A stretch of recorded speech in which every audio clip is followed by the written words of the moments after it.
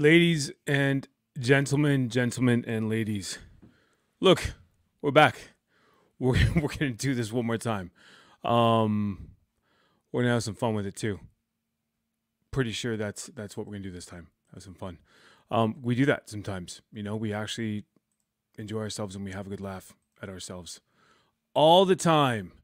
Uh, if you're watching for the first time, this is cool part. We get to uh, have some fun, kind of play it fast and loose. Let's start.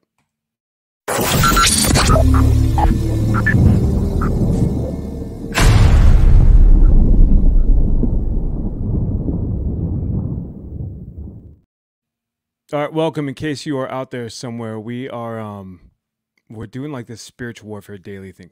And we're doing it from the place that we want to see God move on a daily basis in our lives. We want to do so in a way that that honors him, that kind of puts ourselves towards the back. And um you know, there's a lot going on. At least that's the hope. The hope is that we actually go about this in a way that, you know, honors and edifies God. Um, the way this works, I'm probably going to do my best to have like Instagram up. Instagram is a tricky, tricky animal. So if you're watching and you want to comment and you want to see your comments up on the screen, uh, your best bet is to actually go over to YouTube or Facebook. I know who's on Facebook anymore. No one. I'm just kidding. Few people. Not many though. You're, you're. I don't know. You're an endangered species if you are, except for you know Lindsay Alejandro. She's on Facebook and she's killing it. All right, Jay Robinson. We have a few. Pastor Steve. It still takes a while to get used to. Uh, yeah, welcome, welcome. Um, first and foremost, we're gonna pray. So, in case you're watching, it's what we do. We actually um, we pray before we read the Word of God, and then we dive in. Heavenly Father, we love you in the name of Jesus. Father, it is of all places. It is. My ears are back. Father, it is Wednesday, March 27, 2024. Lord, the world seems like it's falling apart, yet your people are falling together. So, Father, I just declare right now that you are on this this gathering with us digitally, online. Lord, I just declare that your voice will speak through to the people and will speak directly to them the way that you wired them to receive it. Satan, you have no work, no reach, no effect and impact into this conversation. We rebuke every foul spirit back to the core, back to Sheol itself. Satan, your work will come to nothing. We declare freedom, liberty. The captives will be set free. In Jesus' name we pray. Amen. All right. It's um yeah, it's Wednesday. There's like a bunch of fun stuff that's happening. Of course, we're what's up from Canada? Claudine from Canada. Um there's, there's just a lot. There's a lot that's happened today. And I know we say that all the time, but I'm gonna go ahead and bring in some stuff, some video files, because we're having some fun with this and we're going to do, do, do, bring it here. We're going to look at the events. Um, and just in case you don't know this, the reason why we're, they're really trying to shut down TikTok, if I can be completely honest, in my humble opinion, which I think is what the people are saying these days, they're trying to shut it down because it's probably the freest platform on the planet. You can say all sorts of stuff, whatever your little heart desires. They don't, they don't shut it down. And there are these weird little pockets. There's like Christian TikTok, there's witch talk, there's uh, there's black TikTok. There's all these little weird intersecting groups of things that don't quite overlap. Um, but we're going to tackle just some news right out the gate. Um, uh, this is going to be kind of cool. All right. We already covered the whole ship thing, but wait, there's more. And this stuff is actually pretty interesting. I don't know what I'm going to go with first. I didn't like organize this. And for all you people out there that are wondering, this is all playing it fast and loose. All of it is fast and loose. So if you have thoughts, questions, if you want to talk trash, I'm I'm fair game at this point because we're having fun. All right, here's the first one. Has just announced that he is going to close the ports due to the situation. All right, he gave a emergency announcement to the country just today in response to this, and this is massive. Something is going very close. It's going to be as large as the full moon, and it's going to grab the Great I jump lanes. Um, I'm going to bring up one video real quick that's actually kind of even more interesting. It's this guy right here. Where's this guy? Okay, watch this. Everybody is talking about April 8th. But did you know? I'm jumping lanes because the port's a thing. It's port for different reasons. But let's let's see what this guy has to say. NASA will be firing three rockets into the eclipse. This project is called Serpent Deity. No joke. Like, why? Of all the things you could call it, why does NASA have to go there? And of course, everyone will joke around, right? Not a space agency. It's accurate. It's not a space agency. It's something else. Just for everyone to, you know, flat Earth um, laughter. Why is it? Why is it right now? I'm not a flat earther. I'm somewhere in between. I'm going to be completely honest. I'm not quite, you know, on either fence. I know that deception is going to run rampant, but here's my question. Why is it NASA has the world's largest green screen studio on the planet when they here's what, gets crazier. When they were sued by the company that designed it, the company said that they were they were expecting they have a written agreement where they could film movies and do all sorts of cool cool guy stuff there, and then let NASA shut it down. And then NASA's response was that they could not exactly. Where's Kyle? Kimberly, you're absolutely correct. NASA would not respond to the complaint, and they cited matters of national security as the reason why they wouldn't do that. Can I mean, come on, come on. Let's hear what this guy's to say. This is pretty good. This is from NASA.gov. NASA to launch sounding rockets into moon shadow. As if they don't have, you know, more money to burn from Americans. During the solar eclipse. This is from Forbes. Why NASA will fire three rockets at the solar eclipse. But why is it called serpent deity? The serpent or snake is one of the oldest and most. It's a very good question, by the way. I'm just saying. Serpent God is the name of this mission. This guy's video is pretty good. He You've seen this it. symbol of NASA and the serpent. NASA in Hebrew literally means deceive. And watch this. In Genesis 3:13, and what is this that thou hast done? And the woman Eve said, The serpent beguiled me. What is that word beguiled? This is the Hebrew word H5377. First off, if anyone is going to work in the Blue Letter Bible and the interlinear and they go into the Strong's Concordance numbers, kudos. Kudos, my friend. And this guy actually did a very good job. Tracy Martin, you're absolutely correct. Tracy's over there on the Instagram chiming in. Yeah, you're absolutely correct. Here we go. Or NASA, Nasha, which means to beguile or deceive, but it gets better two Hebrew words before this is H5375, which is also Nasa, Nasa, which means lift up. Lift up to deceive. NASA literally means lift up to deceive. I just appreciate people that do their own homework. That's where I'm at in life. That's that's my current situation. Um, and here's why. I um I don't care. I don't think we're going to space anytime soon. Um, you know, the band Warrant sings a song called Heaven Isn't Too Far Away. Closer to it every day, right? I mean, we're dying. All of us are dying one day at a time. I pray to God, whoever you are, and this is the spiritual motivation. Um, I would encourage you, the strongest people I know, go out of the way mentally to die daily. And I have this phrase: "Die faster, live longer." Die to self. All right, Jesus tells us that. Like we're supposed to die to self, and we're supposed to put on, you know, the mind of Christ, put on the man of Christ, and operate from his footing. And he said that we're going to be deceived. Matthew 24 opens up, and I don't care about eschatology, wherever you're at. I don't care if you're pre trib, post trib, mid trib, um, ad lib, whatever. It, it doesn't matter. As long as you're here doing the work and focus on the work, we're good. And I just, I know too many people who have checked out. And yes, the, the human psyche is one that disengages. If you think that you're getting a hall pass out, there's no work to do, you disengage.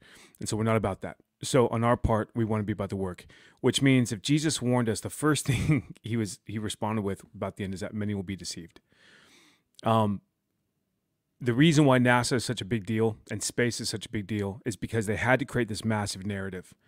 The only way that they could introduce demons from Genesis 6, from Enoch, from from Jude, is if there is an extraterrestrial narrative that doesn't include a biblical narrative, a biblical worldview. They have to give us an extraterrestrial worldview, an out of this world worldview. And this is how they're going to usher in demons. And they're going to be people who will love. It's just like the movie Independence Day. There are people like standing and, and dancing on top of the building as the, the building gets destroyed. Um, the only way that the masses who love to blindly think of space and exploration, their, their hamsters go off. The only way that it could actually really work is if there is a very, very strong delusion, a very strong alternative. And on our part, we're not supposed to just simply blindly accept everything. We're just not. And so it's not to um It's not to dwell, but it's to actually process and move on to the next. And so things like this that you'll see. It's like, Father, in the name of Jesus, we pray that the souls be saved under the bridge. Father, we declare that every deceptive act and work of the enemy will be exposed. Every deceptive plot from the highest places will be exposed. Father, we declare that NASA will be exposed. If there's any deception within it, and think about this we're able to pray very specific prayers, but we're also supposed to pray into situations. And if there is deception, we're supposed to kind of like weed it out. So that's what we do. Um, Divine Soul, we have never been to space. Yeah, Blue Beam, voice to skull technology. There are all these things. The government has patents on things. Um, the second beast of revelation rising in Texas. I I don't know. I don't know if it does.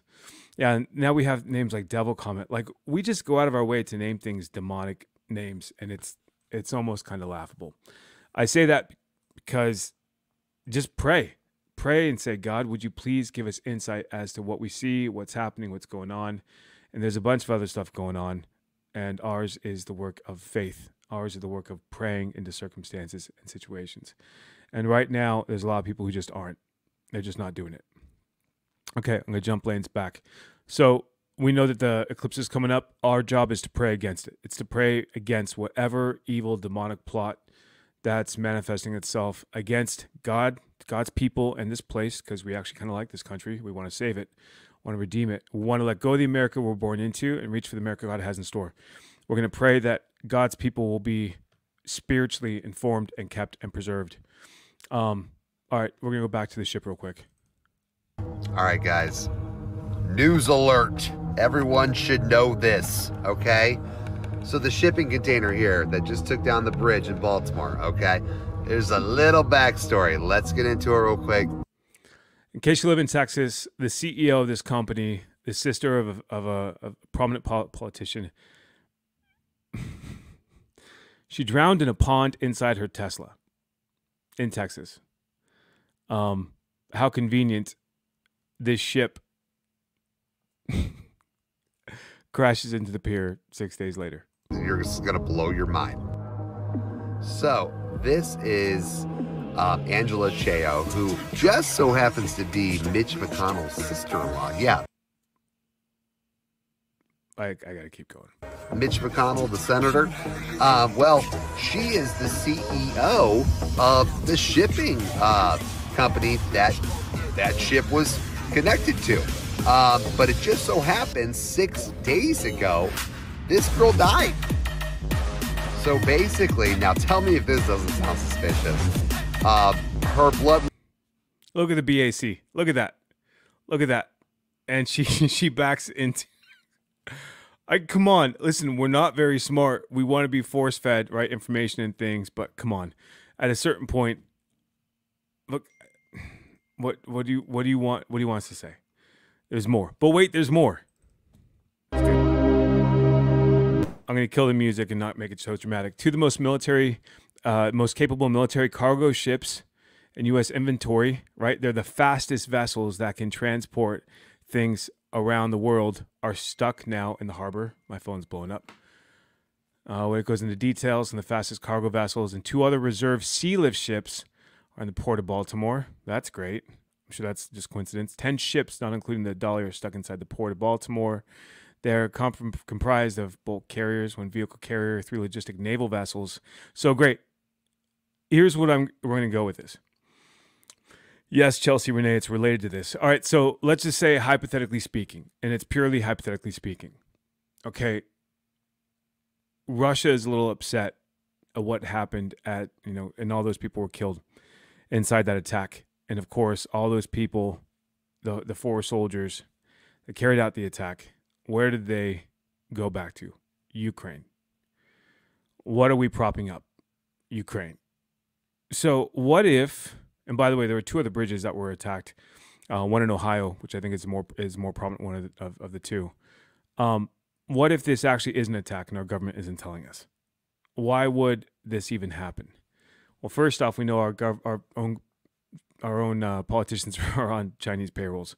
Well, like we know it's it's crazy even have that one guy, what's Swalwell, that was sleeping with a Chinese spy. Additional vehicle carriers in the port, but outside the, the bridge collapse. Um, yeah, all traffic in and out is suspended until further notice. Closure of the waterway will immediately impact the arrival departure of additional ships, products, everything. Um, what if this was already an attack? Dead serious. What if this was actually already an attack and we're just not calling it that? And of course, Russia wouldn't take credit for anything. Just let us kind of wallow in our own. Um, yeah, S two underground is pretty good. Um, anyways, all this to say, we pray against it. We process this, and it's not to get lost in the noise of the world. Ours is a perspective of spiritual warfare. And if you're looking at it, yeah, Robinson, our, our, our biggest infrastructure attacks are power.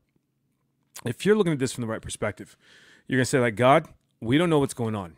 We need heavenly insight. You are praying for heavenly insight. You're praying against successful attacks against this country. You're praying against the work of the enemy and what he's doing in our world through our politicians. You're praying against our politicians. Oh, yeah, CW7 Pew riots. Well, how many food factories have been burned down? Almost 2,000. Like the latest one. And then now there's something about having um something crazy. I think we have, yeah, goods and services destroyed in our economy. Pray God is allowing this destruction. Pray. Yeah, I think we even have like the bird flu now that's that's on the livestock. Listen, we want to cover our food supply we are at a point in time where God is allowing a shaking to occur. He's allowing all these things to be attacked. We need to be covering things in prayer differently, praying for protection, for provision, for the safety of these things, for the fast repair of these places, and against the government's hand in everything that they're doing.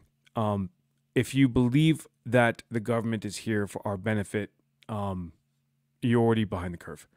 And again, what we're doing, we're not trying to recap a bunch of noise that you already know. We're trying to give you a spiritual footing perspective that a lot of people disregard.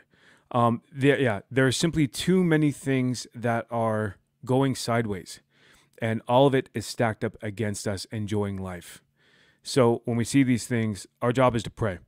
If you refuse to pray, if you don't want to pray, if you don't know what to pray, we're trying to fix that. We're trying to intercede and stand in the gap. We're trying to educate you on the fly.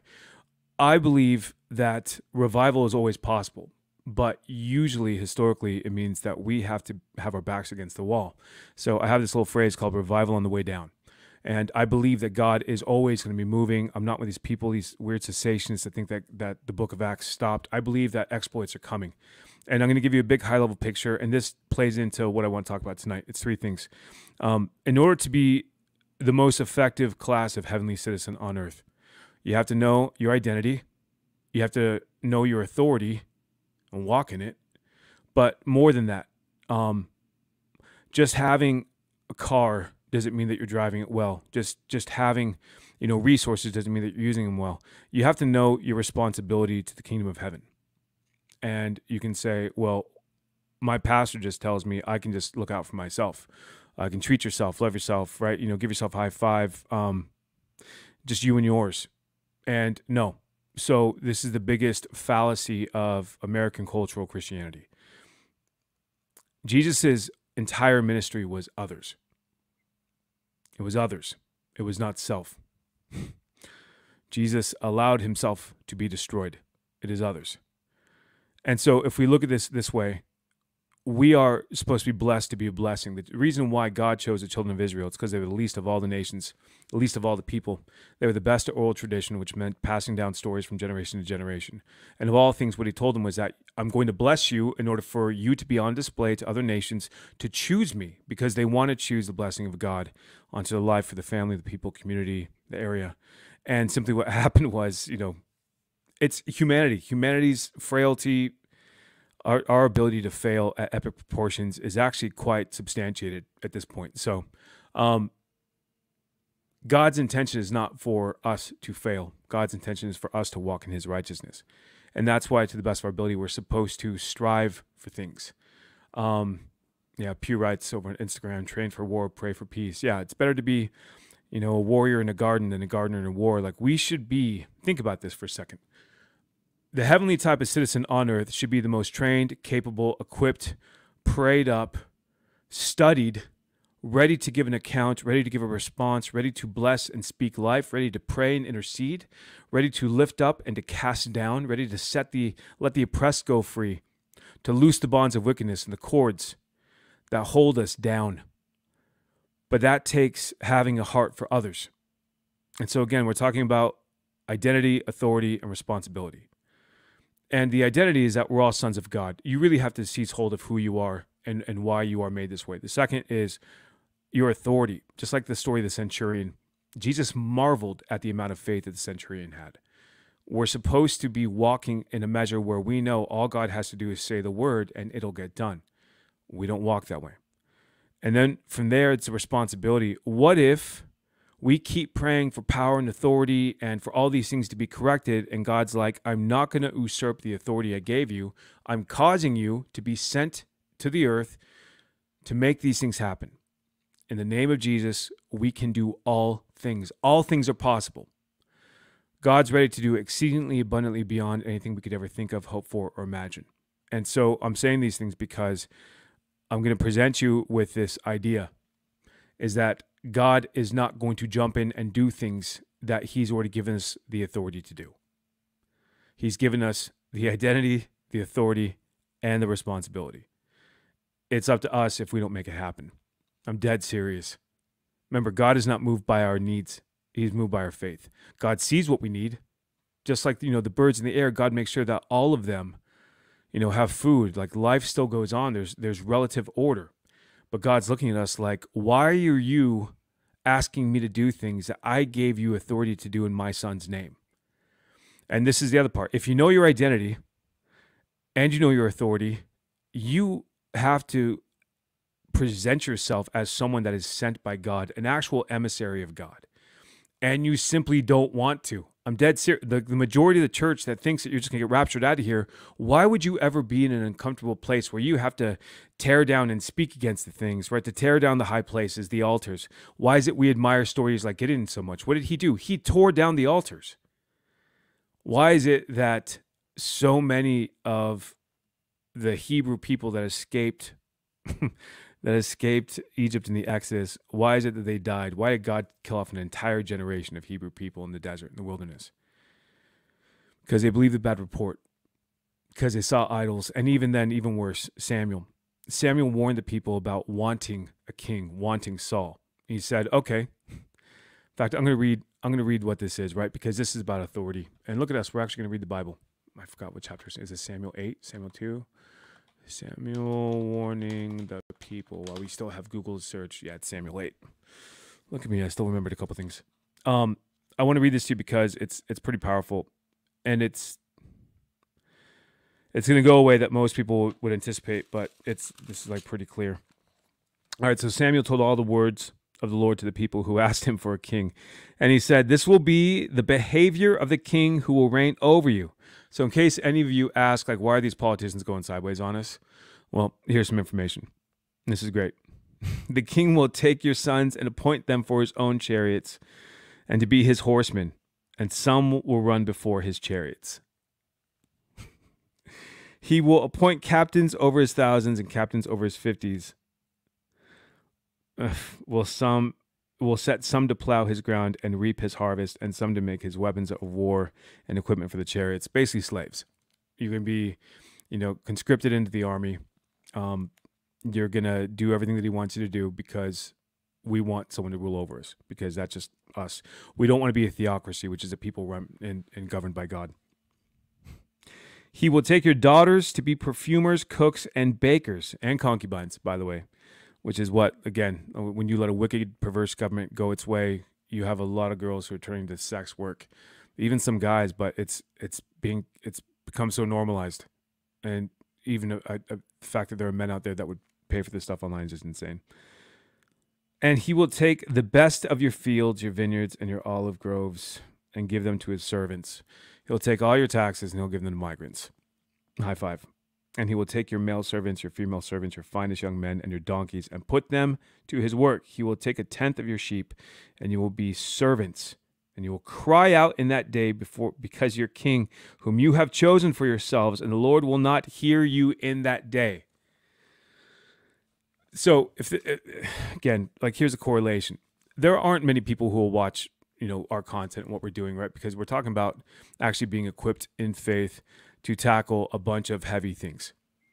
And usually that isn't a left leaning individual, right? It's more of a right leaning individual. But ours is to basically reap what we sow, time, seed, and harvest. We've put in a bunch of time where we've, you know, done well and we've flourished underneath these rulers, and then time goes by, and then what are we reaping? We're reaping all the filth and the trash and the trust that we put in these people, and they've they've done horrible things with it. When we cry out against our rulers for help, I'm going to read that last line again just so it kicks in. The Lord will not hear you in that day. Um, yeah, I'm going to put this up. Catherine Kenny, thank you for your spine. Perhaps give back praises to the weak church, and we need to repent. Yes, um, this all this is all about repentance. But again, the the main topic on tonight is identity, authority, and responsibility. Your identity as a son of God is because you repent, is because you call Christ Lord. Your authority is because you're operating in the name of Jesus. You've been transfigured, right? Like you're allowing the transfigured Christ to come into our hearts and actually change things and move around the furniture and the landscape and clear out a bunch of trash. And then responsibility. You know, for men, especially for military and law enforcement guys out there, right? Uh, the goal is that you operate with a code, a sense of honor. And we do things for God, our King, because we want to honor our God. We want to actually give him not just praise, and he's worthy of all praise, but read his word, spend time, get to know him, be in relationship with him. The only way that you can understand that you're a man sent under authority is by spending time with that authority. The only extent, the only way that you'll know the extent of the authority that you have is by understanding the authority that God gave Christ. And then what do we do with that? Um, we wore it out. And because of that, you know, we need to be refined. Uh, there's a lot of people out there that will pray for strength. And of course, um, why is God going to give you strength if you have no intention of needing it? Let's say that you are a person that lived your entire life on the on the couch and then you get sick and you say, God, heal me. Why is he going to heal you if you are intent on living your life for yourself when the work of Christ and the cross is others? Okay, so let's say that you are people out there who um, want your children saved and blessed and kept and looked after, yet you never raised them to have a relationship with God or Christ. You never raised them in their heavenly identity. You never told them what their authority was. You never taught them that. And then you never made sure that they knew that they had a responsibility back to the kingdom of heaven on earth as it is in heaven. Why is God going to save your children if they have no heart for Him? Why is God going to save you if you only have a heart for Him when it's convenient and you want to go to Him like an ATM machine? The Word of God is true. Let God be true and all men liars. I'm not saying that God doesn't have a heart to do these things, but think about it. It takes so many people, these crazy traumatic events, these disasters, these tragedies, in order for them to stop and turn their hearts around and reposition themselves onto God. That's not honor. That's not praise. That's not being worthy of God's love and attention on our lives. And it's not a message that the church gives because the church doesn't want to chase you out of the room and you're you're not people aren't signing up to hear this message. Because why? Because you're comfortable and you have worshiped comfort. You've sacrificed Christ on the altar of your comfort. Men, you've sacrificed your authority in the household because the woman is leading the spiritual authority of most households. That's just the way that it works. The woman's driving at it. And even if the men are trying to, I can't tell you how many times, I, in the men's ministry that I do, I can't tell you how many times I've heard men say, I'm getting nothing from the church that we're going to, and my wife refuses to let us leave and go try something else. And so you've stunted your man's spiritual, you know, his spiritual existence, his ability to actually rise to the occasion and change things. And yes, you need women. You are the spiritual neck that turns the spiritual head of the home. And so if you are a woman out there and you have no regard to let your man stretch his legs and rise into the position to lead, yes, Tracy Martin, yes, men need to lead.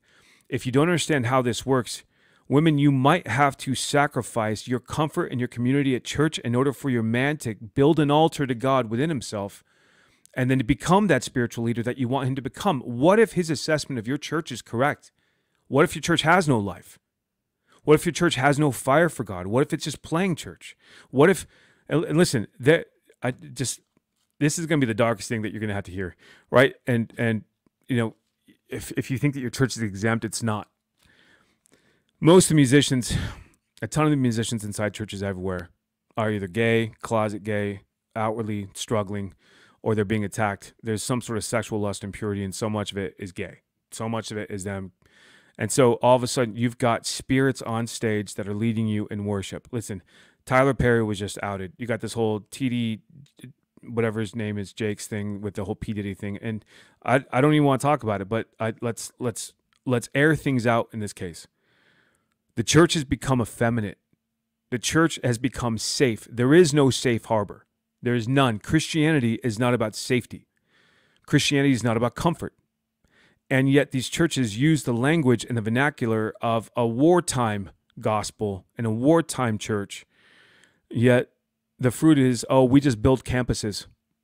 We just we we just opened up another campus at a school. We just expanded our our E team, and we're taking territory by campuses. BS. You have the perception of a thing and not the reality of a thing. And so what I'm getting into, and there are more comments on Instagram. Sorry, I'm looking at both screens. And then there are the women who would love a man who leads. Amen. God will return in the air. The Bible says he will come like a robber in the night. He will take us with him if we obey, if we do not be, if we do not, he will say, Depart from me. Efton and Vicky, if you are so focused on a rapture and take it like just do everyone a favor. If if you Amos says do not desire the day of the Lord. Yet New Testament says and Paul says, "Oh, you know, pray that you be, you know, counted worthy to escape tribulation."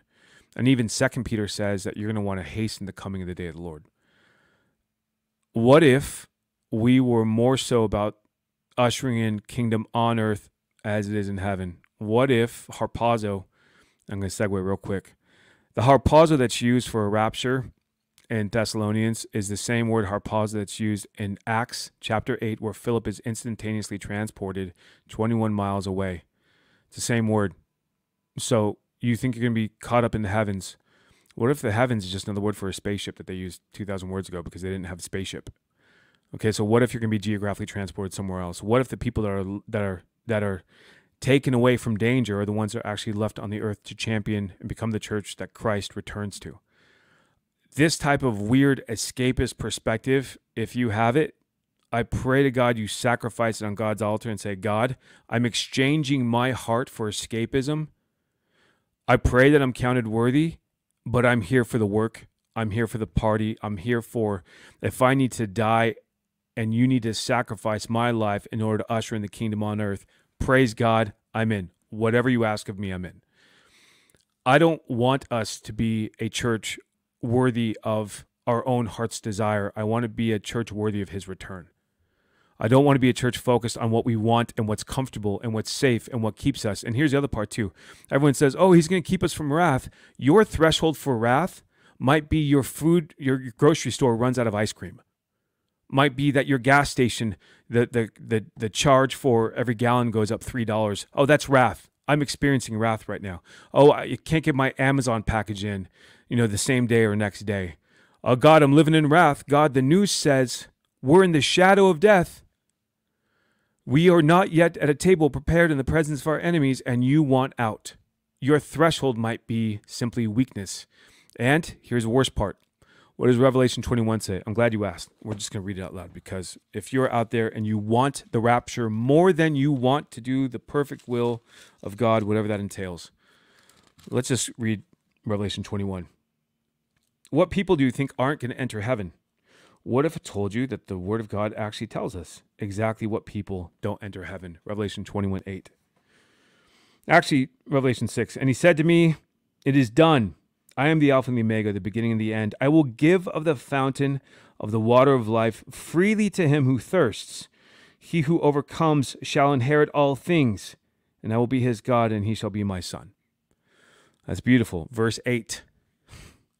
But the cowardly, unbelieving, abominable, murderous, sexually immoral, sorcerers, idolaters, and all liars shall have their part in the lake which burns with fire and brimstone, which is the second death.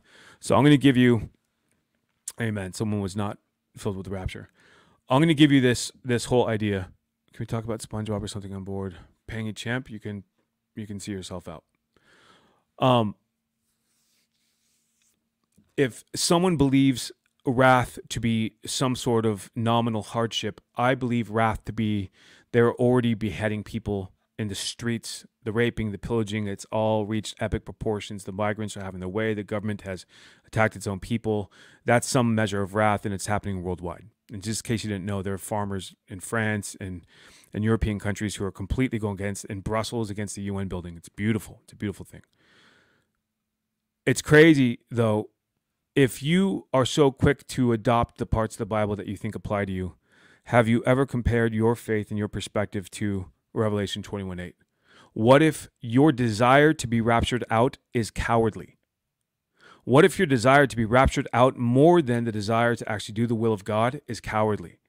What if your heart posture, desperately wanting to hit the eject button and just to go up to heaven, be caught up in the clouds more than revival on the way down and being here through everything because it cost our God everything to love us. And what does it cost you to love him back?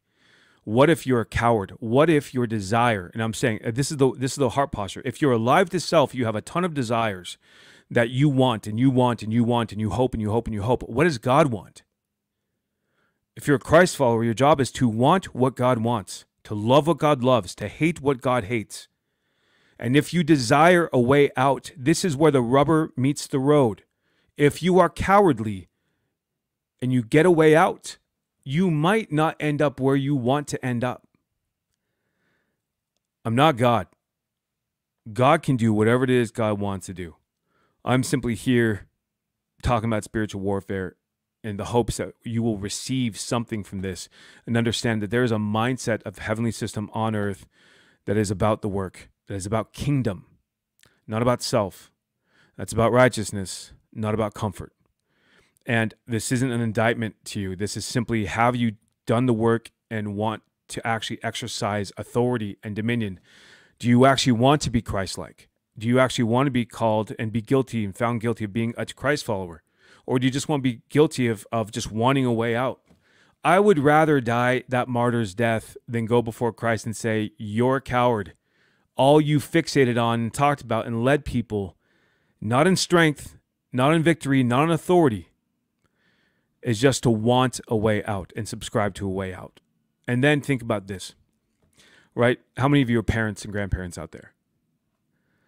Is your job to raise a faithful generation or an escapist generation?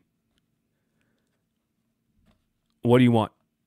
You want to raise your kids with this idea that all you're going to do is get out and get out and get out or do you want to raise them that no matter what come god is with them he will never never leave them nor forsake them. He's commanded them to not be afraid nor be dismayed. And you raise a generational mindset of faith over fear where fear is killed off every single day where the enemy has no work and no sway into families lives where it gets that much harder and more difficult for anything that the enemy has in store to take effect and to take root in our family lives and our legacy if you keep pushing, if you keep pushing and keep peddling this idea of a rapture over remnant, you might be found guilty of, of cowardice. And then you actually, even worse, might be found of generational cowardice. What if your weak chinned mindset of just, I just want to love God in heaven, I don't want to be here for anything, yet Jesus was here for everything, for the benefit of others? What if you flipped it and you said, God, I'm actually going to do this. I'm going to go all the way through for you, for others. I'm not going to do this for myself. I'm not just going to focus on my own condition here. I'm going to focus on others here because that's what you did. I say this again the whole premise of this is identity, authority, and responsibility. Not only are you sp- supposed to know your sonship, you're a child of God, a son and daughter of God. Not only, you know, are, are we authority wise grafted in because of Christ and what he's done, the responsibility is to serve God here on earth for the benefit of others, for the building of kingdom, for the winning of souls, for the destruction, right? Jesus came to destroy the works of Satan. His people are going to be following suit. Psalm 110:3, my people will be volunteers in the great day of my power, the great day of my battle. And so all that say, with all these things going on, the role that we have is to pray against the earthly conditions, the witchcraft, the ungodless, you know, the the not just the heathens, but listen, there there's a seed of Satan. There's the you know, children of God and children of wrath. Our job is to speak Let's see. You only speak of yourself, already for battle, not repent. I don't know what that means. Sorry. Uh, you round either or you will burn. You round either. Oh, you round earth or you will burn. Oh, he's just talking trash. Sorry. Um. Anyways, there's a lot of us. Uh, all of us could have been born any other generation, and God chose us today for this. Amen. Yes. Um. All of humanity have lost their souls at birth. Birth certificate fraud has created a separate entity that enslaved you on earth. I'll burst before.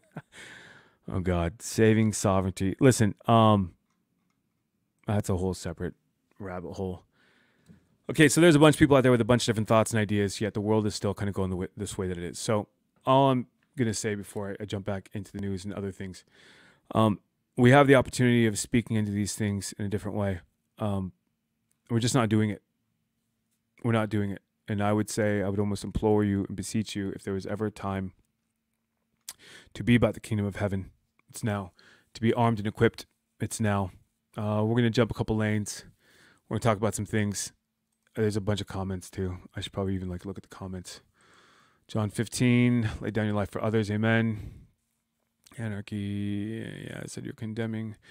Yeah, sad you are condemning. And if you are talking to me, I'm not a spinning ball chaos theory ultra brain. Uh, I don't. These guys just going off on flat earth stuff. Prayer groups that fast and prayer, die to self, listen to God, and move mountains. Amen. This is the way. Armored up.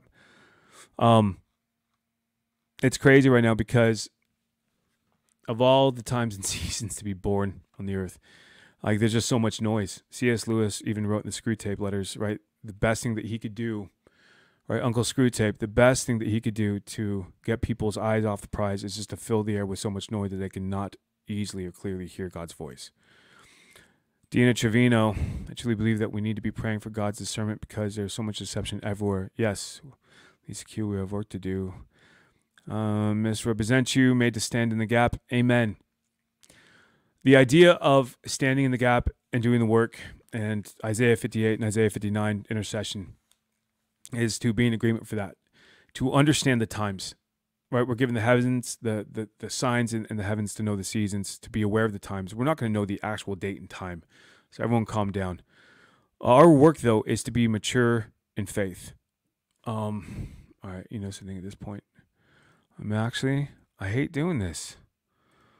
I just I just removed someone that's being annoying. Um, I I follow I follow the David Engelhart version of uh, of protecting the flock from noisy comments and trash. Um, human privilege is perverted, godly privilege. Billy over on Instagram. All right, I'm gonna refocus. Um, yeah, Evan Hagen, thank you. He was annoying. He was. Um, th- there's a bunch of distraction disruptors, so it is what it is. Um, it, we're around everywhere. So all that to say, listen, all these things that come up, your footing is to pray not just for things but against things, not just asking God for things for yourself. My encouragement to you all is to be praying on behalf of others, to be inter- interceding on behalf of the entire body of Christ. It's not to be afraid nor dismayed. We covered that last night. But of all the things that are happening, listen, this whole thing could be a complete attack on that bridge and we simply don't know. And you know, we've got other life things that are happening. I'm going to play another video. We're going to jump lanes for a second. So this whole trans thing, LGBT thing, and I call it a thing, right? We know it's depravity. We know Romans 1 speaks to it directly. Um, we know we can't celebrate other people's, you know, depravity. So like, you know, going to gay marriages, things like that. Yes, my unspeakable gift, pray down strongholds. Um, I'm going to play a video by a trans person. I want you to listen to what they say about trauma. I want you to know like this plays a role into why the enemy of our souls is trying to inflict trauma on children at a young age. Because what happens? He disconnects them. That trauma has to be resolved somehow. And many people are turning to homosexuality, this trans thing. And it's tragic because if Satan can destroy the family, the kids are an easy target. Let's watch this. Figured out the trans thing. And by figured out, I mean like looked within, made the decision, was comfortable with it, went on. I was like, okay, well then there's nothing else wrong with me. That was the thing that was always wrong with right. me. Clearly, because that's such a big thing. No one even goes through that shit, especially back then. Now everyone wants to. But you know, when I transitioned, no one even I didn't I never knew anyone like that. Never Right. really heard of it. So I was like, okay, then that's my big problem in life. You know, I'll This move it. on now. Right. It's solved. yeah, now I see that like that was probably a trauma response. So this woman is saying that her turning her body and destroying her body, her destroying what God made, is a trauma response. Whatever happened to her as a child was so severe. Naturally, she she should have been born as something else.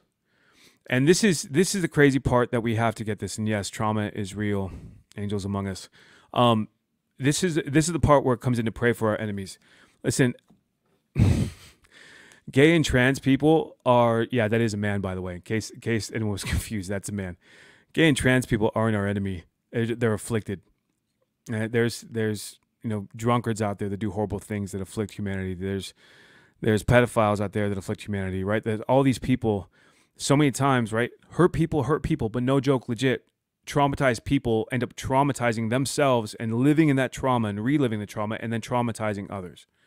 And so, so many of these pedophiles, when they're caught, basically what they say was, you know, they they probably were attacked as a kid, and then they watch porn, and porn is always a gateway into you know touching little kids, and it just it gets horrible from there. And so, I say this because we need to pray for these people because statistically speaking, all of but that's a he. Yeah, no, I'm I'm not calling that a she, by the way. Pagatha. Everyone else is saying like, yeah, that's that's totally a man. Um, it's a man that looks that's trying to look as much like a woman as possible.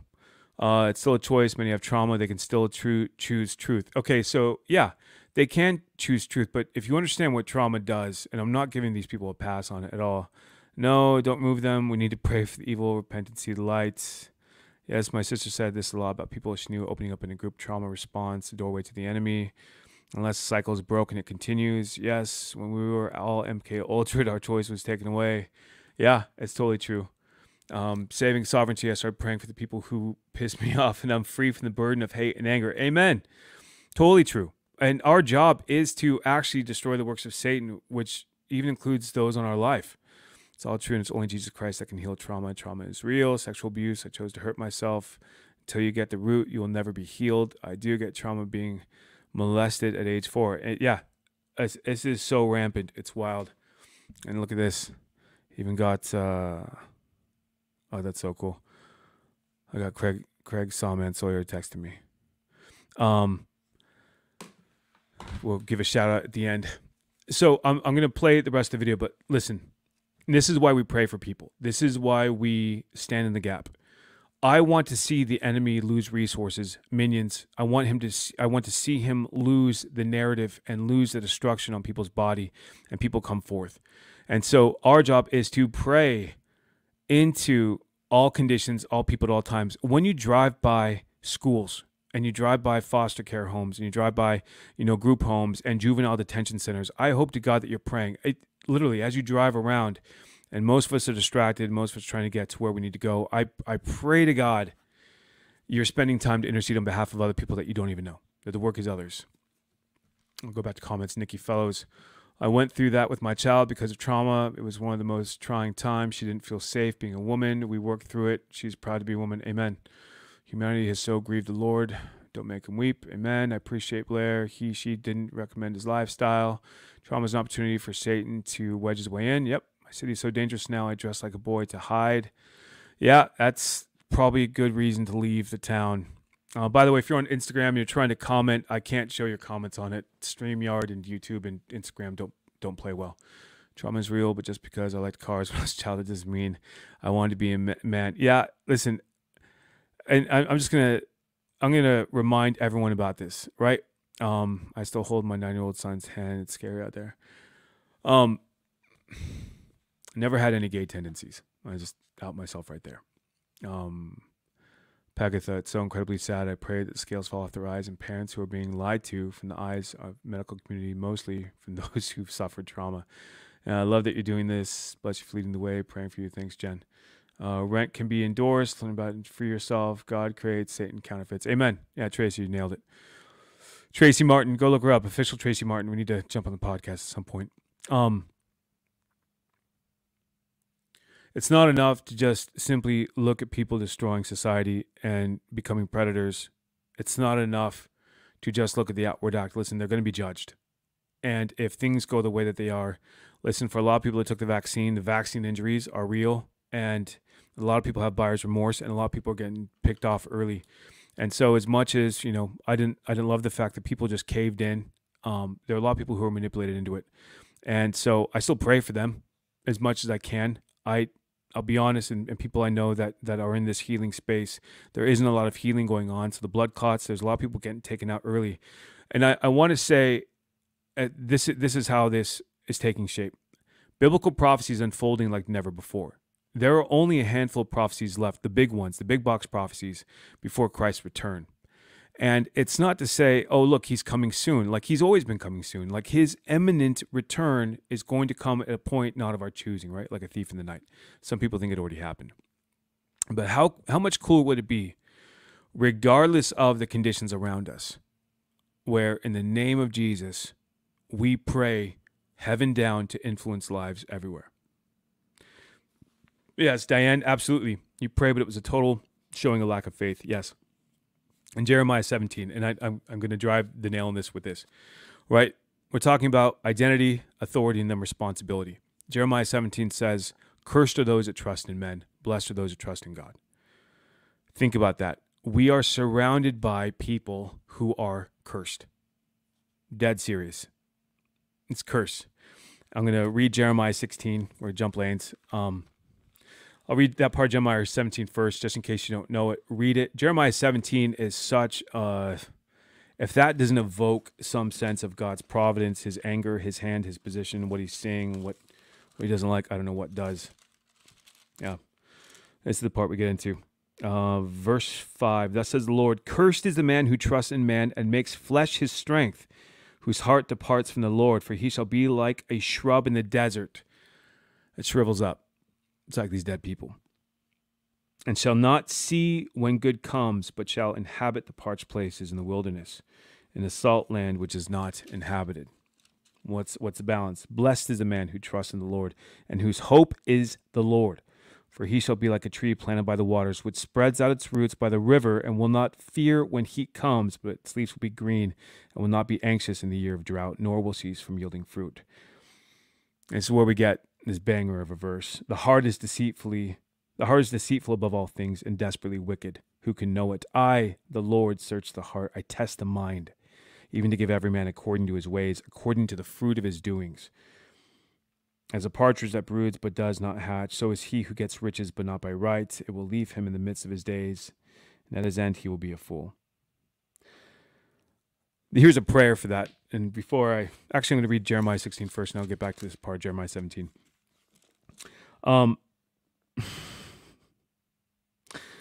verse 10 jeremiah 16 10 and it shall be when you show this people all these words and they say to you why has the lord pronounced all this great disaster against us right? Because that's what the modern prophets are doing.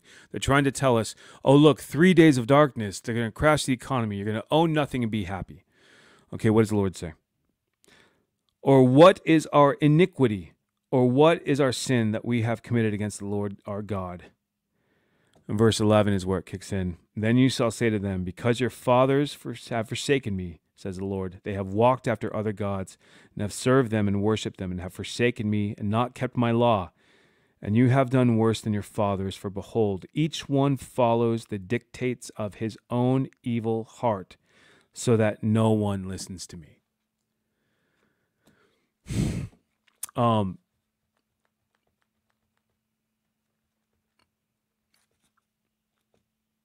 here's a high level, especially for men. So everyone understands that men, you know, society and culture, right? We we we thought we won the war in forty in the forties, and turns out we just imported all the the evil, you know, scientists from Nazi Germany. It was wild. Operation Paperclip and other things. It's it's documented. And in the fifties, we have television, and in the sixties, you know, one woman one woman caused prayer to get pushed out of school. One woman. She saw all the way. The churches didn't revolt. Churches didn't take to the streets. Churches just said, oh, we're going to handle ours. And they didn't understand that their responsibility to the kingdom of heaven was to make sure that children are raised up in the way. Sometimes that prayer at school, surrounded by other kids who are praying at school, might have been the only prayer that that kid would have even brushed up with because their parents weren't there. And so then the men left. The men fell to bread and circus, the men left basically they, they're the priorities, serving other gods, desiring to elevate other men and their exploits and their physical statures and ability and not their own. They got distracted by sports for the most part. Tom McGuire, I think we should purchase some Bibles for Donald Trump. I think he needs some money to pay off a porn star. A- again, like, all right, so I'm going to put up this comment by this guy, Tom. I don't know who he is. He just commented, Got nothing against you, man. Why would you post that? Like, of what edification is that based off the subject at hand? Unless you're kind of saying, like, hey, this is a distraction like everything else. Yeah, you're right. There's just so many distractions. Like, get your face back in the word and understand what's happening. That's why we're doing this. That's why I feel like God's convicted me to to have these little talks. And so, high level, the father's left. The father's left. The father's left the house of God. They left the home. They left the wife, and then they left the kids. And so our kids are left here like this trans person who's a man who's who's still parading as a woman. And that's the reality. Like we have things to correct. They got distracted by more than just sports. Denise Martinez, yes, you're correct. Absolutely. But at scale, sports was the biggest by and large. More men know more sports statistics than Bible verses. How many children, generations, remembered more song lyrics than Bible verses? It's not just the men, but listen, there's a mandate on men to lead the house, to lead the home, to lead themselves, lead the house, lead the home. And it just didn't happen. Most wars are based on religion. I'm glad I'm agnostic. Tom McGuire, I, why are you here? I mean, you can hang out all you want to, but wars are not based on religion, man. Geopolitics is way more complicated than that. You know, there's the war that ends all war will absolutely be based on religion. And you're in this country, Tom, and hopefully that you appreciate the freedoms and liberties that you have because was the last we're the last country on earth with God-free speech and guns, and your agnostic perspective is of no value and benefit if the demonic outpouring is going to override you and your thoughts and your behavior. Just so everyone's clear, right? Demons influence attitude and emotions. What are we seeing flaring up everywhere around the world is attitude and emotions. Um, so yeah, if if you want to be agnostic, you can. Yeah, there are a lot of trolls tonight, right? You must be doing something right. Thanks. I'll take that as a as a compliment. All right. Anyways, getting back to all things, uh, protector fitness. People are being convicted by the word of God, the word they didn't want, but they needed. James, nations use religion as a pretense for geopolitical conflicts. The church is not to blame for that. Amen. Yeah, but it's again, it's like guys like Tom McGuire who think that, oh, look, it's religion. Oh, it's bad. That's wild. Listen, that's that's the nature of things. Um, again, children of wrath. They're walking casualties. I'm getting back to my original point. We need to be praying for these people, for the kids, against the trauma, against all the things that these people have no idea the destruction that they're about to walk into. And you pray for them. And the more that you intercede, the more you engage on behalf of others in spiritual warfare, you actually pray to God that their souls be saved. Uh, Blessed by Grace Sports, the largest child trafficking events. Yep, a lot of it's connected. But listen, I'm saying this because it's not just that the fathers left, it's that the generations afterwards did even worse. And Christine, I'm in a situation where I cannot believe the knowledge regarding sports versus anything that actually matters. Yeah, totally. Jamie89 on on Instagram. Spiritual warfare gets stronger when the church sits down. We need to stand up. Amen. Okay, Barker, Tommy use money, right? Yeah. Listen, I, and I'm not trying to to sandbag Tom. Um, all I'm saying is where we're at and the conditions around us. Um, we are in the most target-rich environment for spiritual warfare that has ever existed. And what are we doing with it? It's up to us. That's going to be a segue, right? What are we segueing to? I'm glad you asked. And this one is crazy. Just so we're clear. Wait, I'm going to do this one first. Oh, praying in public, reading aloud from the Bible is hate speech. It's not yet. So, at a certain point, we become the villain in everyone's story, per the government, per, per these WEF inspired and paid for governments. We become the villain in everyone's story. I pray to God that you are stocking up on everything food, ammo, guns, that you're prepared. Um, because again, Jesus said if we didn't have a, a sword to sell our cloak and buy one, it's not to be um, desiring to hit people's off switch, but listen, when the government's coming, when the government is completely corrupt and destroying its own nations from within because it's part of the plan, then we need to be ready for everything. and this should not surprise any of us at any time ever. Um, so just be prepared for it. Just awareness. If it's coming to Canada, it's like pricing the risk and the opportunity. They're trying to put it everywhere. That segues perfectly into this, Mr. Mike Glover. All I'm saying is I'm not going to be a victim. If something happens in my hometown, if something happens where I'm at with my family, I'm going to handle business. And that requires training, equipment, and considerations. Just keep an open mind. All right, guys, let's talk about this video. I have a he's great. He's basically what he's saying is, um, especially if you're a man, like your job is to be prepared for everything, whatever comes our way. Be prepared for it. Be about it. All right, we're gonna keep jumping through news. This now is a great friend and American. Yeah, so Kirk interviewed Lara Logan about everything that happened with the bridge. It was insightful. If you have a chance, go look at it. And then, then there's this. I don't know. I don't know what to do with this, but there's this. Um, if you live in New York, uh, buckle up. I can't believe I'm making this video, but I was almost punched in the face in New York City today. I'm sure we've all seen the fucking probably 10 videos of The- Pardon the language. Whatever. It is what it is. You know, we're just taking content. the girlies that are getting socked in the face in New York City. Um, I was very close to getting socked in the face today. I was on my way to school. Um, There is an epidemic right now in New York City where girls are just getting socked in the face. Apparently, it's been going on for years. Why is this man going after random white women just punching them in the face in broad daylight? What we're getting to is attitude and emotions. Um, think about the question. The question is, why would someone do this? In the day and age, we're talking about spiritual warfare. The day and age that we're getting in. so much more dangerous, especially for women. A random man swung on my girlfriend in the street, and I was in the car watching it happen because she just got out of the car. And I guess he didn't know that I was with her. So I jump out of the car, I start fighting the guy. Here's a quick clip. I saw it. I saw it. I saw it. Stop. Luckily, I was there because I don't know what would have happened if I wasn't there.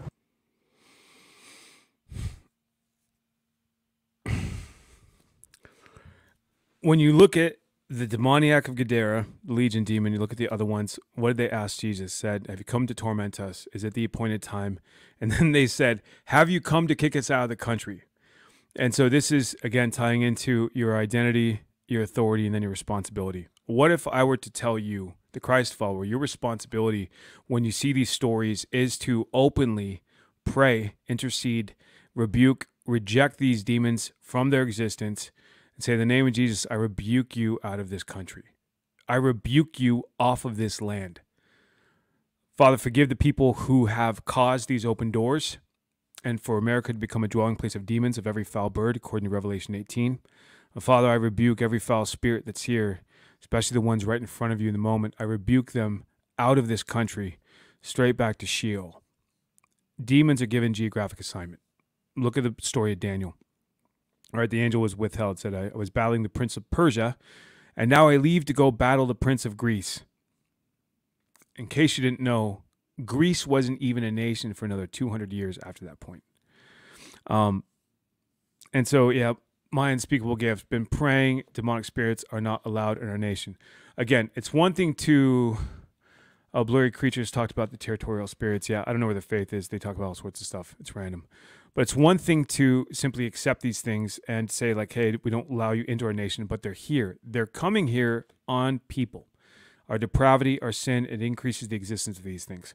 And so, uh, as we go, brainwashed to hate is one way of looking at it. If someone is given over to iniquity and sin without repentance, they open up doors to the demonic, and the demonic comes in. And there's there's more videos I have on this, which actually is almost laughable. This one's pretty funny.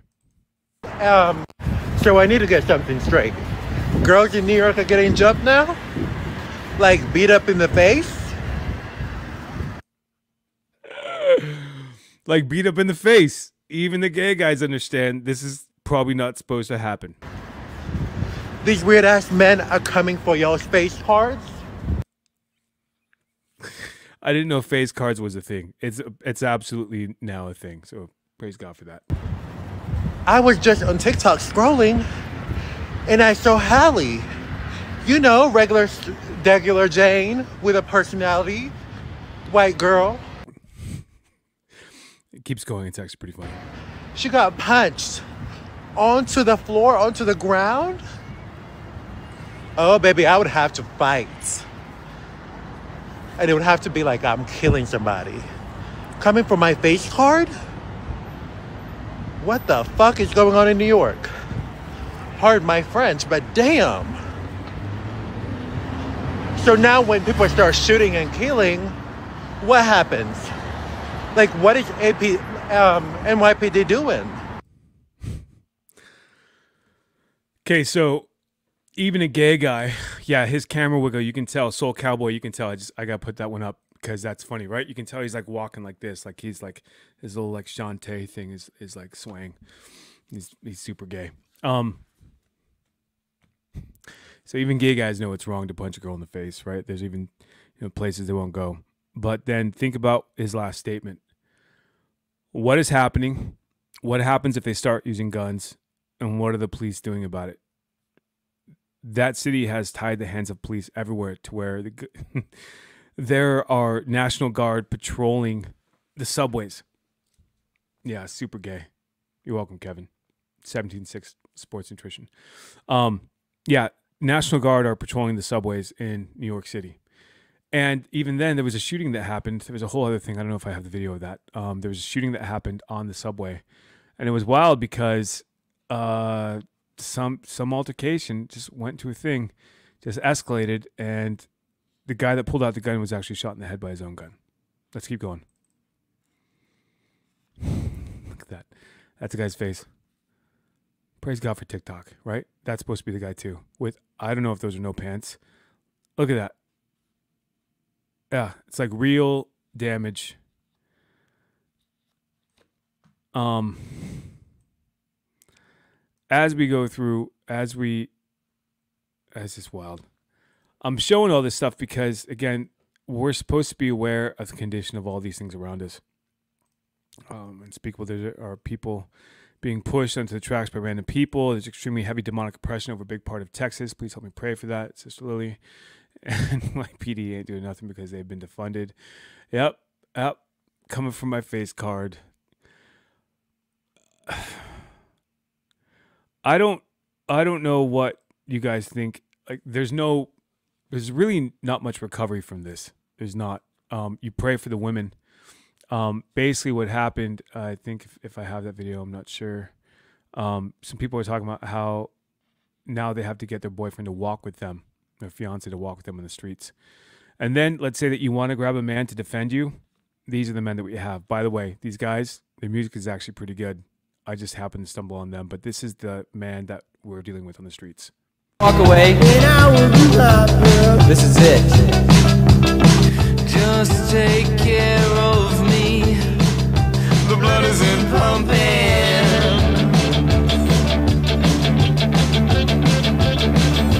I'm not mad at this music, by the way. But when a grown man says, just take care of me, And I will do my best. But man, it won't be much. I mean, I want to call them grown men, you know, um, but I will do my best. But man, it won't be much. That's what we're dealing with. It's all bad. It's all bad. It's all bad. And people wonder why I still listen to like thrice and 80s rock. A, a lot of worship music in there. I don't know how you think we're going to dig ourselves out of this. And again, this gets back, this actually gets back to spiritual intercession. We're supposed to be interceding on behalf of these people to pray down a different condition because this condition is not getting any better anytime soon. country is no longer a Christian country. You see, in Babylon, Christianity is not just rejected, it has become offensive. Have you noticed that? Yes, we are living in Babylon. But you know something? I have good news for you. We are in Babylon, but we are not Babylonians. We are children of the Most High God, and I praise God for that. Therefore, if we are not Babylonians, we have no business behaving like them.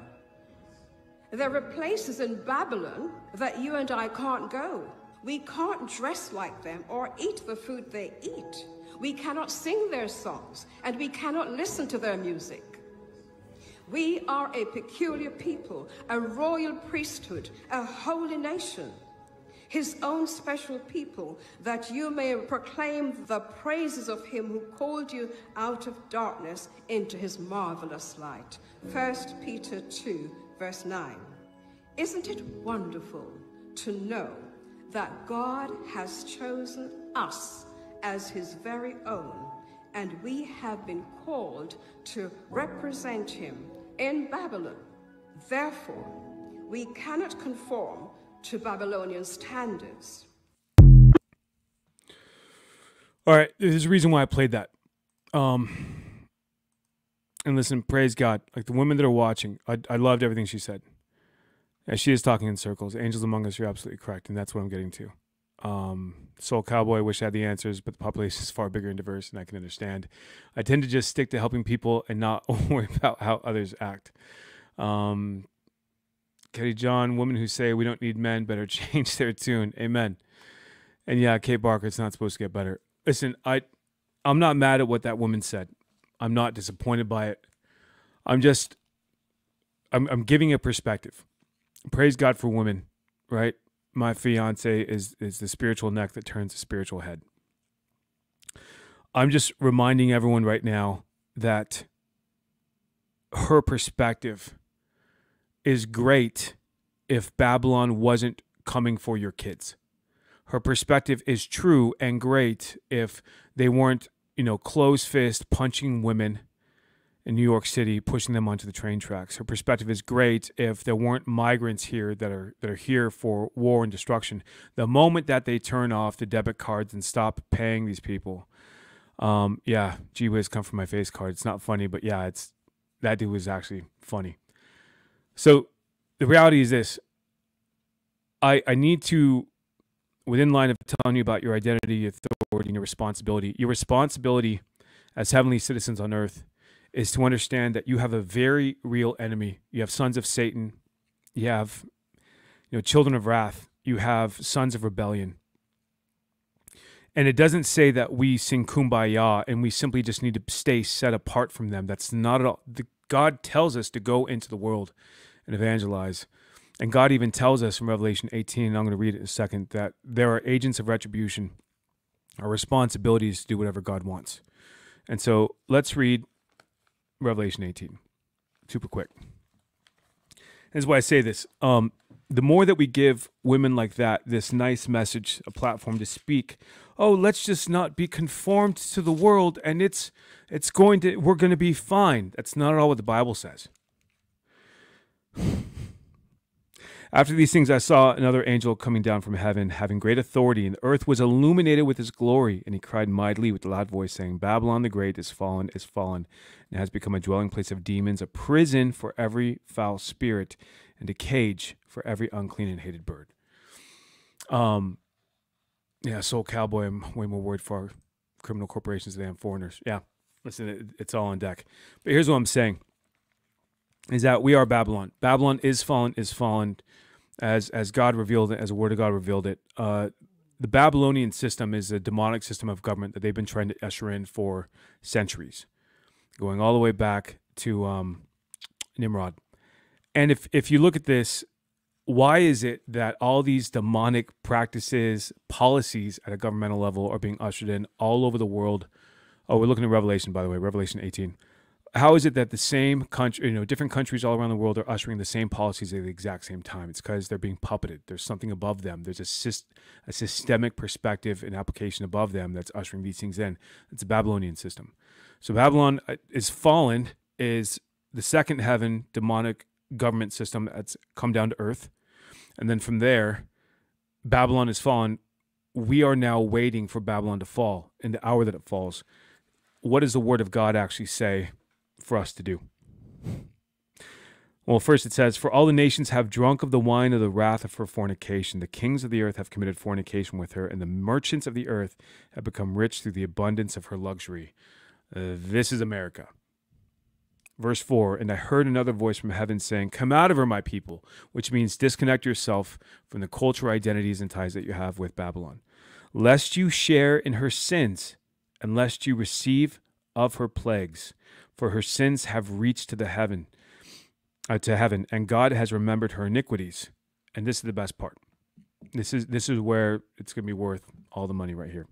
Render to her just as she rendered to you, and repay her double according to her works. I'm going to read that part again slowly. This is instruction. A voice in heaven is giving instruction to an agent of retribution. Render to her just as she rendered to you, and repay her double according to her works. And the cup which she has mixed, mix double for her. In the measure, it gets darker. In the measure she glorified herself and lived luxuriously, in the same measure give her torment and sorrow. For she says in her heart, I sit as queen and am no widow, and will not see sorrow. Therefore her plagues will come in one day death and mourning and famine, and she will be utterly burned with fire. For strong is the Lord God who judges her. The kings of the earth who committed fornication and lived luxuriously with her will weep and lament for her when they see the smoke of her burning, standing at a distance for fear of her torment, saying, Alas, alas, the great city Babylon, the mighty city, for in one hour your judgment has come, and the merchants of the earth will weep and mourn over her, for no one buys their merchandise anymore. We consume the merchandise. Oh God, Apple Appleseed's still here. Apple Appleseed's still here. I don't know if I'm not gonna kick yet. Let's see. Uh, I am gonna kick that one though. There are a bunch of trolls. Look at this. There are a ton of trolls out tonight. I'm just gonna keep bunching them. Um, merchandise of gold and silver and precious stones and pearls, fine linen, and purple silk, scarlet, every kind of citron wood, every kind of object, every ivory, most precious wood, bronze. It goes all the way through. So I'm going to read that part again, and just just so we're clear. Render to her just as she rendered to you, which means, and G.K. Beale wrote in his commentary. Um, the idea is that there is an agent of retribution. It's either God as agent of retribution, angels as agent of retribution, or people as agents of retribution. And I say this for one big reason. To Mark Samming, I'm, I'm going to explain. The Bible is filled with testimony, especially the Old Testament. It is testimony of people operating in great faith. The, the testimony of others is given to us, you know, from Joshua, Judges, Ruth, all the way through, of telling us that God operates through people. He gets credit for what people do. Uh, blessed grace, there is no karma. I understand if you want to use the principle for it, right? It's iniquity. We've sowed seeds. We've we've destroyed the world. We've made it more depraved, and God hates depravity, so He's coming to judge. Spirit of God makes the Bible clear. Amen. Um, I'm not saying that you should desire to be an agent of retribution, but if you are fully operating in obedience and walking, uh, Cassie Cooper, her is America. Everybody pray for salvation of those trolls, then rebuke the demonic spirits using them. Amen. Uh, demons are scared, especially reading Revelation. Amen. And we're not. So I'm, I'm saying this to, to let you understand something. And this is why it comes down to responsibility. Remember, identity, authority, and responsibility. God is not going to give you strength and understanding of things if you have no intention of putting yourself out there. If you have no need of wisdom, if you, all you do is hold up inside your home and you become agoraphobic and you don't leave because you're scared, God's not going to give you supernatural gifts and exploits just to heal people whenever it's convenient for you. God's going to probably equip people differently. And we're going to talk about this in tomorrow night's Bible study. So just in case you all know, like we're going to push pause on on doing this tomorrow for Bible study. Um, there's a story. You look like you like you voted for Biden. That's actually that's that's entirely incorrect. All right, you know what I'm gonna do, man. We are actually like bumping all the people tonight. This is pretty funny. Um, the cool part is we get to look at it like our responsibility may in fact be repaying Babylon as an agent of retribution. I'm not saying you should want it. You should not want to destroy people prematurely, arbitrarily, right? Uh, Nikki Fellows Bible study should be sometime around 4 p.m. Pacific, 4:30 p.m. Pacific tomorrow. But at the very least, we know that the Bible says there is at some point citizens of earth that will be partaking in the retribution of people that are actively working to destroy us. And so, to the best of our ability, let's live like people of the book and let's be about our identity, our authority, and our, if you can walk it after this, our responsibility. Um, I'm even going to kind of give everyone an idea, especially if you look at the Hebrew and the Greek behind it. You know, that story of uh, Jesus leaving the 99 for the one. What if the one went adventuring? What if uh, Claudine Hardy, can you teach her we were baptized in the Spirit? You can pray in tongues. Yeah, we'll cover that. Not tonight, but we'll cover that. Be resolute. Um, the idea is this: What if we serve the God of adventure? John Eldredge, his book Wild at Heart, kind of goes into this for men. But the idea is that we serve the God of adventure, not the God of safety. We, we serve the God of adventure, not the God of comfort. We serve the God of angel armies, not the God of hiding safely inside caves and cellars and houses that are boarded up. At no point, you know, there's a couple points, I, I take it back, a couple points that where the Bible says that we're supposed to kind of take cover and, you know, um, not be out and about. But for the most part, this whole book is an adventure book. It's an adventure story, and it's real, and it requires faith. And to the best of our ability, we're to live by faith because without faith, it's impossible to please God. So I would even argue that when Jesus leaves the 99 for the one, it's because the one went off adventuring and needs Christ to go with him. Otherwise, he's going to be destroyed.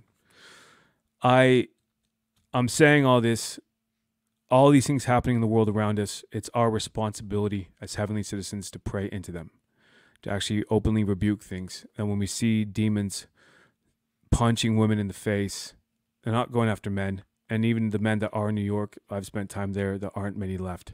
They're not, they're effeminate. They've attacked our young men and the food supply and the air and the water and everything. And so ours is to, um, ours is to be about the work no matter what the condition is. Ours is to be in the world and to be praying against it, interceding first, first in prayer and then in person. So my my hope for all of you that are watching tonight that are still focused on the news, can you know consume the content but process it through process it through the lens of the Holy Spirit. That's that's the hope. And so if you if you walk this out the way that God wants you to, there's a, actually a lot of work to do. We are again in the most target rich environment in all of human history. Question is what are we going to do with it? We're going to praise God. To put our heads in the sand. Are we going to just hope to God that this all passes over us and we never have to deal with it? Or are we going to address this differently? That's it. I'm going to pray. Uh, thank you everyone for watching. Again, like I don't, I don't know what God's doing through these things. I pray to God that you're all blessed and you're all kept and you're all edified and sharpened.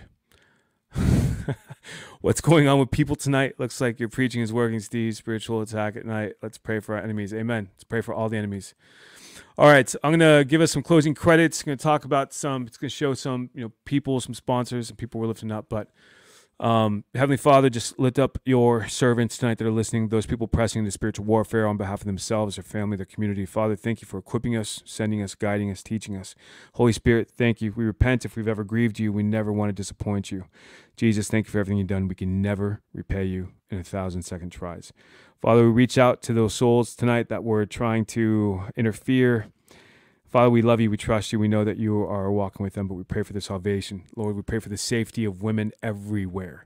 On behalf of other men that are supposed to stand in the gap, Lord, I declare that men are rising forward into their station position, that the women are kept, that the homes are being restored, that children are being protected and restored, that the enemy is losing his grip, that Satan's time is short, according to Revelation 12 12 and that every foul spirit and demon and, and demonically influenced witchcraft is canceled, nullified. Other assignments are canceled, Father. I pray confusion into the enemy's camp. I pray covering over these people, and Father, blessing and keeping in ways that only you can provide and do. Lord, we love you, we trust you, we need you. In Jesus' name we pray. Amen. That's it. Thank you, everyone. I hope you are blessed and edified.